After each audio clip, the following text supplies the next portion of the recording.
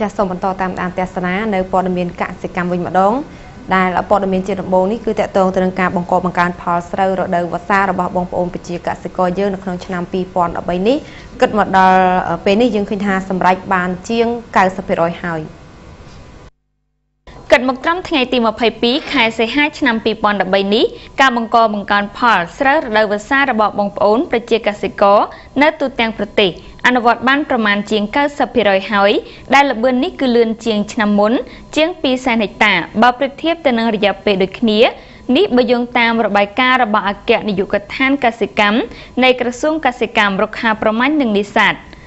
នៅក្នុងរបាយការណ៍បានបង្ហាញថាដំណាំស្រូវពង្រោះនិងស្រូវសន្ទូងអនុវត្តបានចំនួន2លាន2សែន400ហិកតា ស្មើនឹង91កណ្ដាសញ្ញា70%នៃផែនការ2លាន3សែន99,637ហិកតា លឿនជាងឆ្នាំមុន2សែន4724ហិកតា ដំណាំរំសំអនុវត្តបានចំនួន5សែន45743ហិកតាលឿនជាងឆ្នាំមុន53932ហិកតា និងដំណាំកសិឧស្សាហកម្មអនុវត្តបាន118,465ហិកតាលឿនជាងឆ្នាំមុន1672ហិកតា ដោយឡែកសម្រាប់ការងារប្រមូលផលស្រូវស្រាលដើមរដូវឆ្នាំ2013កសិករបានកំពុងធ្វើការប្រមូលស្រូវរបស់ខ្លួន លើផ្ទៃដីចំនួន134,062ហិកតា ស្មើនឹង62កណ្ដាសញ្ញា51%នៃផ្ទៃដី អនុវត្តស្របចំនួន214,476ហិកតាហើយស្រូវស្រាលឆ្នាំនេះទទួលទិន្នផលបានមធ្យមចំនួន3756តោននៅក្នុង1ហិកតា របាយការណ៍បានបង្ហាញទៀតថាខេត្តដែលអនុវត្តបានច្រើនជាងគេ មានខេត្តបន្ទាយមានជ័យខេត្តបាត់ដំបងសៀមរាប ស្ទឹងត្រែង កំពង់ឆ្នាំងកំពង់ធំព្រៃវែងពោធិ៍សាត់និងខេត្តឧត្តរមានជ័យហើយនៅក្នុងនោះក៏មានខេត្តមួយចំនួនអនុវត្តបានលើផែនការដែរ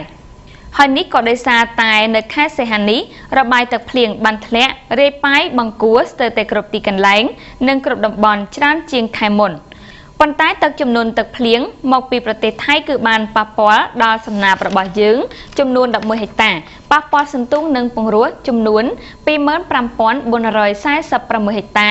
និងប៉ះពាល់ដំណាំផ្សេងផ្សេងមួយចំនួនទៀតដែលក្នុងនោះមាននៅខេត្តបន្ទាយមានជ័យចំនួន8ស្រុកខេត្តកំពង់ធំ2ស្រុកខេត្តក្រចេះ5ស្រុកខេត្តសៀមរាប2ស្រុក និងខេត្តឧត្តរមានជ័យ4ស្រុក ដែលឡែកនៅស្រុកស្រែអំបិលខេត្តកោះកុងក៏ត្រូវរងផលប៉ះពាល់ដំណាំស្រូវចំនួន110ហិកតាពីទឹកចំនួនទឹកភ្លៀងនេះដែរប៉ុន្តែកសិករបានធ្វើការស្ដារឡើងវិញ បានចំនួន100ហិកតា ចំណែកនៅឯស្រុកត្រាំកក់ខេត្តតាកែវឯនោះវិញ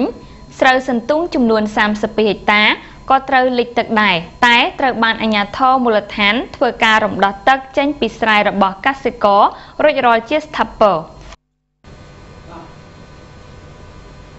ចាតកតងទៅនឹងដំណាំដំឡូងមីវិញម្ដងយើងឃើញថាដំណាំមួយនេះក៏ជាដំណាំដែលបង្កើននៅកម្រិតជីវភាពជូនដល់បងប្អូនប្រជាកសិករយើងដែរបើទោះបីជាដំណាំដំឡូងមីនេះចាំមានតម្លៃធ្លាក់ចុះយ៉ាងណាក៏ដោយ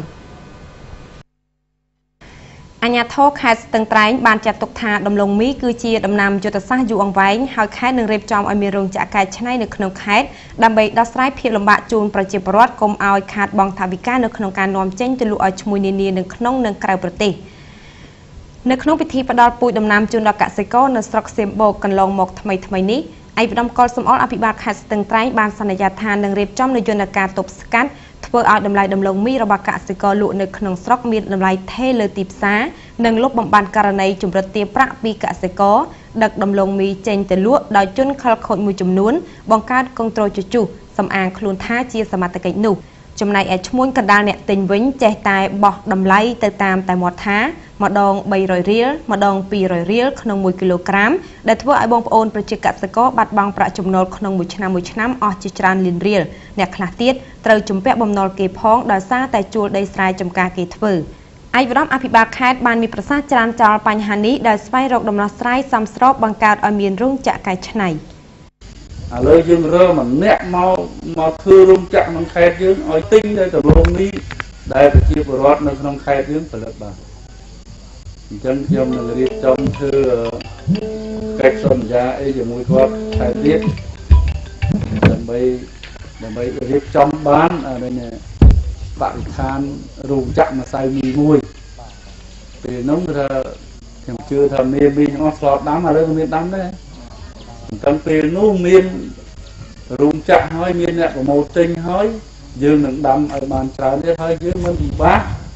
នឹងភ័យព្រួយថាមួយថ្ងៃឡើងមួយថ្ងៃចុះហើយដឹកទៅនេះដឹកទៅនោះទេ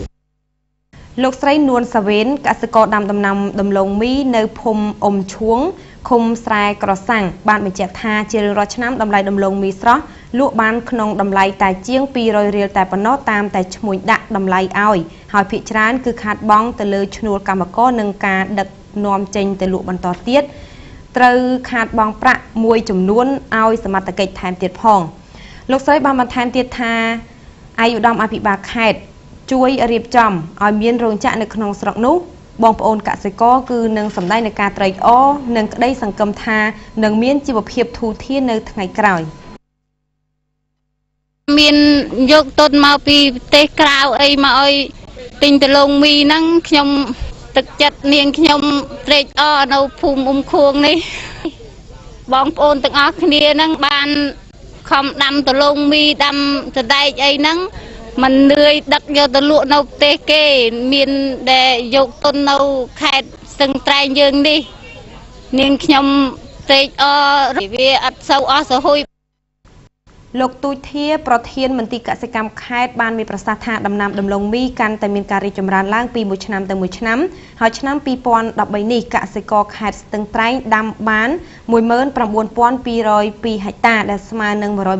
120%លើសផែនការឆ្នាំជាង3000ហិកតា ដែលក្នុងនោះស្រុកសៀមបូកដាំបានចំនួន10095ហិកតា ក្រុងស្ទឹងត្រែងដាំបានចំនួន4500ហិកតា ស្រុកថ្លាបរិវត្តដាំបាន3017ហិកតាស្រុកសេសានដាំបាន990ហិកតានិងស្រុកសៀមប៉ាងដាំបាន500ហិកតាចាព័ត៌មានកសិកម្មដែលលោកអ្នកទិញបានទស្សនានៅពេលនេះចាប់តែប៉ុណ្ណេះចាសូមរងចាំទស្សនានៅព័ត៌មានសេដ្ឋកិច្ចដែលនេះខ្ញុំនឹងបន្តជម្រាបជូននាពេលបន្តិច